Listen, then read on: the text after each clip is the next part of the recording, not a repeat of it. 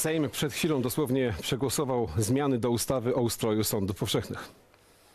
Przystępujemy do głosowania nad całością projektu ustawy. Kto z Pań i Panów posłów jest za przyjęciem w całości projektu ustawy w brzmieniu z druku nr 107 wraz z przyjętymi poprawkami, zechce podnieść rękę i nacisnąć przycisk.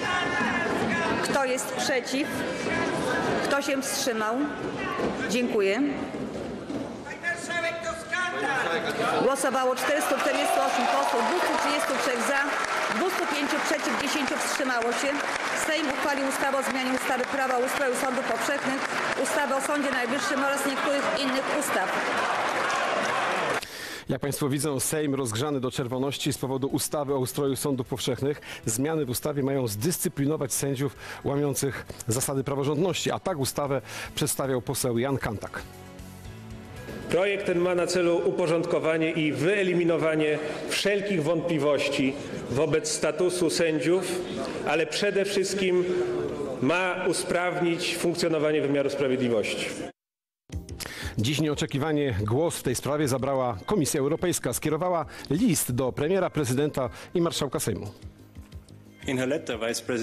W liście wiceprzewodnicząca Jurowa zachęciła mocno polskie władze do skonsultowania z Komisją Wenecką Rady Europy tego projektu i zachęciła wszystkie organy państwa, aby wstrzymały pracę nad projektem nowej ustawy do czasu przeprowadzenia wszystkich niezbędnych konsultacji.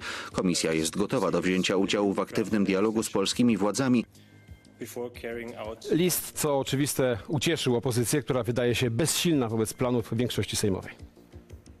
Stanowisko Komisji Europejskiej wyraźnie wskazuje, że mamy do czynienia z jednym wielkim oszustwem. I dlatego proszę w imieniu klubu Koalicji Obywatelskiej pana marszałka o doręczenie posłom kopii listu Komisji Europejskiej skierowanego do marszałka Sejmu. Borysowi Budce odpowiedział profesor e, Przemysław Czarnek, poseł Prawa i Sprawiedliwości. Nie mieliście szansy zapoznać się z projektem ustawy, a zwłaszcza z, z poprawkami, które były składane. A tu nagle słyszymy, że Komisja Europejska wystosowała pismo do najwyższych organów władzy Rzeczypospolitej Polskiej, w której wyraża zaniepokojenie projektem i poprawkami. Skąd komisja miała szansę na to, żeby zapoznać się tak głęboko z projektem?